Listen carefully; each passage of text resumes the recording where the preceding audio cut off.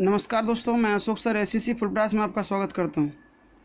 Friends आज की class में हम लोग क्लास ट्वेल्थ के हिंदी सौ मार्क्स के गद खंड का दसवां चैप्टर जूठन, जिसके लेखक ओम प्रकाश वाल्मीकि जी है के ऑब्जेक्टिव क्वेश्चन आंसर को पढ़ते हैं। फ्रेंड्स तो क्लास शुरू करने से पहले आपसे एक छोटी सी रिक्वेस्ट है कि यदि आपने अभी तक चैनल को सब्सक्राइब नहीं किया है तो चैनल को सब्सक्राइब कर घंटी के आइकन को दबा लें, ताकि आगे आने वाले वीडियो का नोटिफिकेशन आपको मिल सके। तो फ्रेंड्स चलते हैं क्लास पर। पहला क्वेश्चन देखिए। जूठन किसकी रचना है? तो फ्रेंड्स जूठन का जो लेखक है वह है ओम प्रकाश वाल्मीकि जी। इसलिए ऑप्शन सी सही होगा। दूसरा क्वेश्चन है कि वाल्मीकि का जन्म कब हुआ था? ओम प्रकाश, वाल्मीकि जी का जन्म कब हुआ था? तो वाल्मीकि जी का जन्म फ्रेंड्स हुआ था 30 जून 1950 को। था तो ऑप्शन ए सही है। अगला क्वेश्चन है कि ओम प्रकाश, वाल्मीकि हिंदी के किस आंदोलन से जुड़े महत्वपूर्ण रचनाकार है? ओम प्रकाश, वाल्मीकि हिंदी के किस आंदोलन से जुड़े महत्वपूर्ण रचनाकार है? तो फ्रेंड्स ये है दलित आंदोलन से जुड़े हैं, इसलिए दलित आंदोलन ऑप्शन ए सही होगा। अगला है कि कौन रोते रोते मैदान में झाड़ू लगाने गया? कौन रोते रोते मैदान में झाड़ू लगाने गया? तो इसका ऑप्शन होगा कि ओम प्रकाश वाल्मीकि। ऑप्शन बी सही है। अगला क्वेश्चन है कि ओम प्रकाश वाल्मीकि के हाथ से झाड़ू किसने छीन कर फेंक दी? ओम प्रकाश वाल्मीकि के हाथ से झाड़ू किसने छीन कर फेंक दी? तो यहाँ पर ऑप्शन हमारा है कि राधा चरण ने बाबू लाल ने श्याम चरण ने या काली चरण कालीराम ने? तो फ्रेंड्स यहाँ जो चार ऑप्शन है राधा चरण ने, बाबूलाल ने श्याम चरण ने और कालीराम ने तो ऑप्शन होगा कालीराम ने। डी सही है। अगला क्वेश्चन है कि एक रोज ओम प्रकाश वाल्मीकि को किस हेडमास्टर ने कमरे में बुलाया? यहाँ चार ऑप्शन है। चंदूराम गरीब राम अकलू राम कालीराम। तो फ्रेंड्स ओम प्रकाश वाल्मीकि जी को जो बुलाए थे, उस हेडमास्टर का नाम था चंदूराम। ऑप्शन ए सही है। अगला है कि ओम प्रकाश वाल्मीकि के पिता का नाम क्या है? ओम प्रकाश वाल्मीकि के पिता का नाम क्या है? छोटन लाल राजलाल, रामलाल, फिर इनमें से कोई नहीं। तो फ्रेंड्स ओम प्रकाश वाल्मीकि के पिताजी का नाम छोटन लाल अर्थात ए ऑप्शन सही है। ए ऑप्शन सही है। अगला है ओम प्रकाश वाल्मीकि के माता का नाम क्या है? ओम प्रकाश वाल्मीकि के माता का नाम क्या है? तो फ्रेंड्स ऑप्शन है चार जो आपके सामने है। कुंती देवी, शकुंती देवी, मकुंदी देवी, इनमें से कोई नहीं। तो फ्रेंड्स ओम प्रकाश वाल्मीकि के माता का नाम मकुंदी देवी है। ऑप्शन सी सही है। अगला है कि दलित साहित्य सौंदर्य शास्त्र के रचनाकार कौन है? दलित साहित्य सौंदर्य शास्त्र के रचनाकार कौन है? प्रेमचंद, सुदर्शन, फिर यहाँ पर सुदर्शन होगा। सुदर्शन, अगला होगा ओम प्रकाश वाल्मीकि और अगला होगा जगजीवन राम। तो फ्रेंड्स, ये जो दलित साहित्य सौंदर्य के रचनाकार हैं वह है ओम प्रकाश वाल्मीकि जी। ऑप्शन सी सही है। अगला है। अब और नहीं, वाल्मीकि की कैसी कृति है? कहानी है, कविता है, उपन्यास है या निबंध है। तो फ्रेंड्स, अब और नहीं, वाल्मीकि जी की कविता है। क्या है कविता? है अर्थात बी है ऑप्शन। बी नंबर सही है। ये कविता है, ये सही है। अगला है कि जूठन किस चेतना की रचना है? जूठन किस चेतना की रचना है? पहला, राजनीतिक चेतना की, धार्मिक चेतना की, दलित चेतना की, सांस्कृतिक चेतना की। फ्रेंड्स, ये जूठन है, ये राजनीतिक चेतना की रचना है। ऑप्शन ए सही है।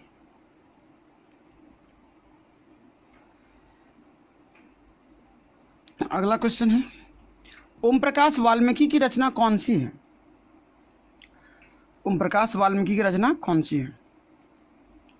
ए है रोज, बी प्रगीत और समाज, सी जूठन, और डी उसने कहा था।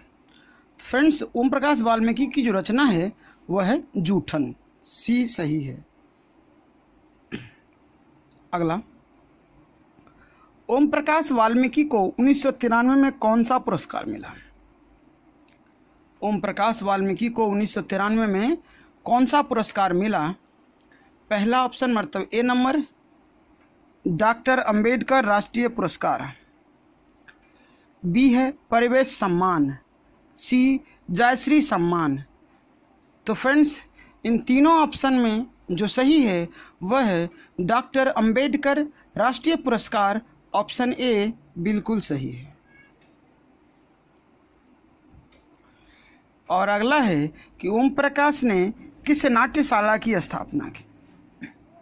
ओम प्रकाश वाल्मीकि ने किस नाट्यशाला की स्थापना की? तो वह है प्रेमचंद मंच, रंगशाला, मेघदूत, इनमें से कोई नहीं। तो ऑप्शन सी सही हमारा मेघदूत। जूठन में चित्रण हुआ है। राजनीतिक विडंबना का, शैक्षिक परिवेश का, सामाजिक विषमता का और ऐतिहासिक चेतना का। तो फ्रेंड्स, जूठन में जो चित्रण हुआ है, वह है सामाजिक विषमता का। ऑप्शन सी, सही होगा। ऑप्शन सी क्या होगा? सही होगा। अगला है कि ओम प्रकाश वाल्मीकि का जन्म कहाँ हुआ था? ओम प्रकाश वाल्मीकि का जन्म कहाँ हुआ था? बरला उत्तर प्रदेश, बलिया उत्तर प्रदेश, सी बिथान बिहार और डी मुजफ्फरपुर बिहार। तो फ्रेंड्स इसका जो जन्म हुआ था ओम प्रकाश वाल्मीकि जी का, वह यूपी में हुआ था, अर्थात बरला उत्तर प्रदेश। ऑप्शन ए सही होगा। अगला है, कि जूठन क्या है? रेखा चित्र है शब्द चित्र है, कहानी है या फिर आत्मकथा? तो फ्रेंड्स जूठन जो है वह आत्मकथा होगा। ऑप्शन डी सही है। ऑप्शन डी बिल्कुल सही है। अगला है कि ओम प्रकाश वाल्मीकि को किस वर्ष कथाक्रम सम्मान दिया गया? ओम प्रकाश वाल्मीकि को किस वर्ष कथाक्रम सम्मान दिया गया? ऑप्शन ए, उन्नीस में, बी 2000 में, और सी 2005 में, और डी 2006 में। तो फ्रेंड्स चारों ऑप्शन में से कौन सा होगा? तो 2000 में, अर्थात बी ऑप्शन बिल्कुल सही है। अगला क्वेश्चन है कि ओम प्रकाश वाल्मीकि क्या चाहते हैं? ओम प्रकाश वाल्मीकि क्या चाहते हैं? ए भे, भेद बुद्धि पर टिकी समाज व्यवस्था में आमूल परिवर्तन जो भेद के आधार पर जो ये समाज हम का व्यवस्था है उसमें परिवर्तन चाहता है। चाहता है कि सामाजिक वैचारिक जागरण मतलब सामाजिक, वैचारिक जागरण चाहता है। कि समाज के विचार में जागरण हो। जागृत हो समाज, अपने विचार को बदले। अगला चाहता है, मानवाधिकारवाद या उपरोक्त सभी। तो फ्रेंड्स, ओम प्रकाश वाल्मीकि जी चाहते हैं कि भेद बुद्धि पर टिकी जो समाज की व्यवस्था है, उसमें आमूल परिवर्तन हो जाए। अर्थात ऑप्शन ए बिल्कुल सही है। अगला, कि दलित साहित्य का सौंदर्य शास्त्र किसकी कृति है? दलित साहित्य का सौंदर्य शास्त्र किसकी कृति है? ऑप्शन ए, मलियज की, बी जय कृष्णमूर्ति की, सी ओम प्रकाश वाल्मीकि की और डी, नामवर सिंह की। तो फ्रेंड्स, जिसका आंसर होगा, वह होगा ओम प्रकाश वाल्मीकि की। ऑप्शन सी, सही है। अगला है कि जूठन के हेडमास्टर का नाम क्या है? जूठन के हेडमास्टर का नाम क्या है? तो option A, Kalicharan, B, Kalikant, C, Kaliram और डी, इनमें से कोई नहीं। तो फ्रेंड्स, जो जूठन शीर्षक है, उनके जो हेड मास्टर है, उनका नाम है कालीराम। ऑप्शन बी, बिल्कुल सही है। अगला ओम प्रकाश की आत्मकथा का नाम क्या है? ओम प्रकाश की आत्मकथा का नाम क्या है? ए, सलाम घुसपैठिया बी, दलित का साहित्यिक सौंदर्य, सी, सदी, सदियों का संताप, और डी, जूठन। क्या फ्रेंड्स तो ओम प्रकाश की जो आत्मकथा है, वह है जूठन। ऑप्शन डी, बिल्कुल सही। यह है जूठन। ये वाला आंसर होगा। ऑप्शन डी, सही है। चलते फ्रेंड्स अगला क्वेश्चन अगला है ओम प्रकाश वाल्मीकि में कौन सा पुरस्कार नहीं मिला? ओम प्रकाश वाल्मीकि को ओम प्रकाश वाल्मीकि को कौन सा पुरस्कार नहीं मिला? तो यहाँ पर जो ऑप्शन है, जयश्री सम्मान, परिवेश सम्मान, और सी में है कि ए और बी दोनों, और डी में है भारत रत्न। तो फ्रेंड्स ओम प्रकाश वाल्मीकि जी को भारत रत्न सम्मान नहीं मिला था, इसलिए ऑप्शन डी सही है। अगला है कि हेडमास्टर जी का नाम क्या था? तो फ्रेंड्स अभी पीछे ही पढ़े थे कि हेडमास्टर जी का नाम कालीराम था। तो फ्रेंड्स यहाँ पर ये हो जाएगा कालीराम। ऑप्शन बी सही है। अगला है, तेरा तो यह खानदानी काम है, यह कथन किसने कहा था? तेरा तो यह खानदानी काम है, यह कथन किसने कहा? तो ए, सुखदेव सिंह त्यागी जी ने, बी, हेडमास्टर जी ने, सी, लेखक के पिताजी ने, इनमें से कोई नहीं। तो फ्रेंड्स, तेरा तो ये खानदानी काम है। यह कहा था हेडमास्टर जी ने, इसलिए ऑप्शन बी सही है। अगला, सुरेंद्र सिंह की बुआ सुखदेव सिंह की लगती थी। सुरेंद्र सिंह की बुआ सुखदेव सिंह की लगती थी। बेटी माँ, बहन या चाची। तो फ्रेंड्स सुरेंद्र सिंह की बुआ सुखदेव सिंह की बेटी लगती थी, क्योंकि फ्रेंड्स सुरेंद्र सिंह जो था वह सुखदेव का पोता था। ऑप्शन ए बिल्कुल सही है। अगला। जनेसर और जसवीर लेखक के क्या थे? जनेसर और जसवीर लेखक के क्या थे? ऑप्शन ए चाचा, बी भाई, सी दादा, डी दोस्त। तो फ्रेंड्स, जनेसर और जसवीर लेखक के भाई थे। ये दोनों क्या थे? भाई थे, इसलिए ऑप्शन बी सही होगा। अगला। लेखक एक दिन अपनी तुलना किससे करते हैं? लेखक एक दिन अपनी तुलना किससे करते हैं? माँ से, पिताजी से, झाड़ू से या भाई से? तो फ्रेंड्स झाड़ू से करते हैं। इसलिए ऑप्शन सी सही है। अगला, जसवीर देहरादून में किसके घर गए थे? जसवीर देहरादून में किसके घर गए थे? ऑप्शन ए है मामा के, बी भाई के, सी चाचा के और डी एन में से कोई नहीं। तो फ्रेंड्स, जसवीर देहरादून में अपने मामा के घर गए थे। ऑप्शन ए सही होगा। किसका बैल खेत से आते समय रास्ते में गिर पड़ा? किसका बैल खेत से आते समय रास्ते में गिर पड़ा? ए सुरेंद्र का, बी ब्रह्मादेव का, सी बलवीर का और डी सुखवीर का। तो फ्रेंड्स, जो बैल गिरा था, वह था ब्रह्मादेव का। ऑप्शन बी बिल्कुल सही है। अगला है। लेखक को परिवेश सम्मान कब मिला था? लेखक को परिवेश सम्मान कब मिला था? ऑप्शन ए उन्नीस सौ बानवे, ऑप्शन बी उन्नीस सौ तिरानवे, ऑप्शन सी उन्नीस सौ चौरानवे और ऑप्शन डी उन्नीस सौ पंचानवे। तो फ्रेंड्स, क्या है कि लेखक को जो परिवेश सम्मान मिला था, वह मिला था उन्नीस सौ पंचानवे में। इसलिए ऑप्शन डी सही है। अगला है। छुरी पकड़ते ही किसके हाथ काँप रहे थे? छुरी पकड़ते ही किसके हाथ काँप रहे थे? ए, लेखक का, बी, मामा का, सी, चाचा का, डी, माँ का। तो फ्रेंड जो छुरी पकड़ते समय हाथ काँप रहा था, वह था लेखक का। ऑप्शन ए सही है। अगला है कि चाचा ने खाल को किसमें बाँध दिया था? चाचा ने खाल को किसमें बाँध दिया था? ऑप्शन ए, झोला में बी, बोरा, चादर में, सी, गमछा में और डी, बोरा में। फ्रेंड्स, चाचा ने खाल को चादर में बाँध दिया था। ऑप्शन बी सही है। अगला है। लहरों के राजहंस किसकी रचना है? लहरों के राजहंस किसकी रचना है? तो फ्रेंड्स, ये जो है, ऑप्शन देखिए। गुलेरी जी की, माथुर जी की, वाल्मीकि जी की या मोहन राकेश की? फ्रेंड्स, लहरों के राजहंस जो रचना है, वह है मोहन राकेश की ऑप्शन डी सही है। अगला, लेखक की बहन का नाम था। लेखक की बहन का नाम था। पहला, छाया। बी, राधा। सी, माया। और डी, गीता। तो फ्रेंड्स, इन चारों में से जो लेखक की बहन का नाम था, वह था माया। ऑप्शन सी बिल्कुल सही है। अगला सूखी पूड़ियाँ कब काम आती थी? सूखी पूड़ियाँ कब काम आती थी?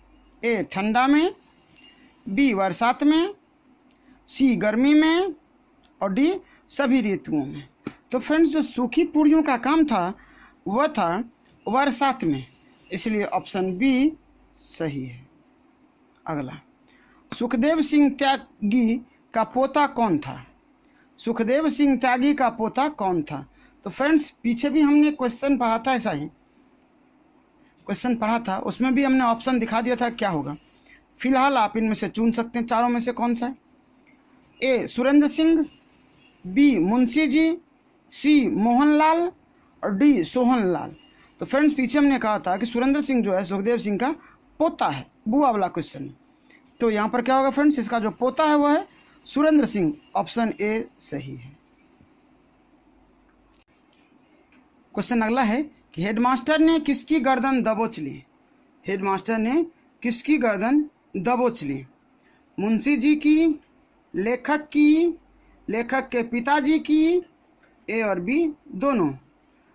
तो फ्रेंड्स, यहाँ पर क्या है कि लेखक के पिताजी, लेखक को पैर से मुंशी जी कहा करते थे। तो फ्रेंड्स मुंशी जी और लेखक दोनों तो एक ही है। इसीलिए ऑप्शन डी सही होगा।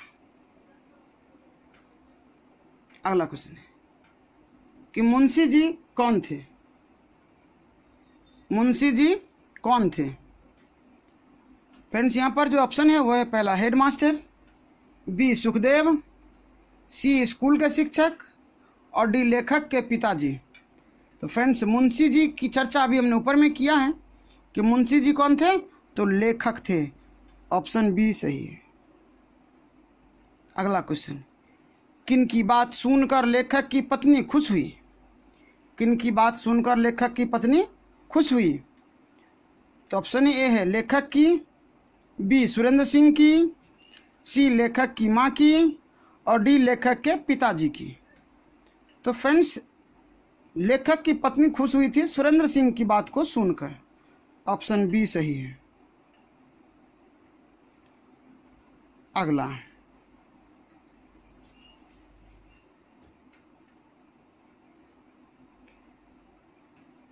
एक मरे भैंस या बैल उठाने के लिए कितने लोगों की ज़रूरत होती है? एक मरे भैंस या बैल उठाने के लिए कितने लोगों की ज़रूरत होती है? ऑप्शन ए, तीन से चार। ऑप्शन बी चार से पाँच, ऑप्शन सी पाँच से सात और ऑप्शन डी चार से छः। तो फ्रेंड्स, इसमें से क्या होगा कि ऑप्शन डी होगा एक मरे भैंस या बैल उठाने के लिए चार से छः आदमी की ज़रूरत होती है। अतः ऑप्शन डी सही है। ऑप्शन डी सही है। अगला, कालीराम हेडमास्टर ने गाली देकर किसको धमकाया था? कालीराम हेडमास्टर ने गाली देकर किसको धमकाया? ऑप्शन ए, छोटन लाल को। ऑप्शन बी ओम प्रकाश वाल्मीकि को। ऑप्शन सी, शिक्षक को। और ऑप्शन डी, गाँव वालों को। तो फ्रेंड्स, हेडमास्टर जी ने जो गाली दे के धमकाया था, वह था छोटन लाल को। ऑप्शन ए सही है। अगला क्वेश्चन हेडमास्टर जी का दूसरा सवाल क्या था? दूसरा सवाल क्या था? ए क्या नाम हुआ? बी चूहड़े का है। सी, छोटन लाल के बेटे। और डी, तेरा नाम ओम प्रकाश है क्या? तो फ्रेंड्स, हेडमास्टर जी का जो क्वेश्चन था, वह था कि छोटन लाल के बेटे। ऑप्शन सी सही है। तो फ्रेंड्स, इसका जितना महत्वपूर्ण क्वेश्चन बन सकता था इस चैप्टर जूठन का, मैंने उतना बनाया। तो उम्मीद करते हैं फ्रेंड्स, आपको क्वेश्चन का आंसर अच्छा लगा होगा। और फ्रेंड्स आप इसे ध्यान रखकर बोर्ड एग्ज़ाम में अच्छे मार्क लाएँगे। इसी उम्मीद के साथ फ्रेंड्स हम समाज क्लास को समाप्त करते हैं और मिलते हैं अगले क्लास में अगले चैप्टर का ऑब्जेक्टिव क्वेश्चन आंसर लेकर करके तब तक के नमस्कार। जय हिंद। Thanks for watching